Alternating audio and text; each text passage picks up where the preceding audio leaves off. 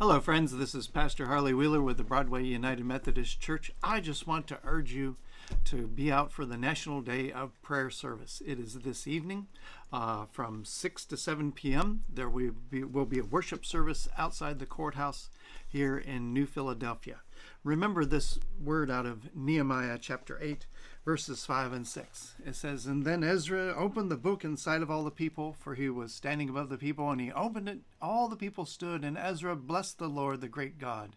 And all the people answered, Amen, Amen, lifting up their hands, and they bowed their heads and worshiped the Lord. That was a national day of prayer service. It was the prayer in the nation as they they were all together there in Jerusalem.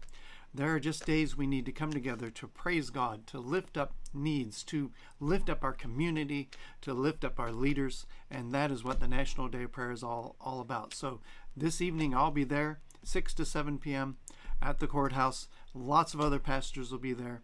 Hope you'll be joining us. God bless.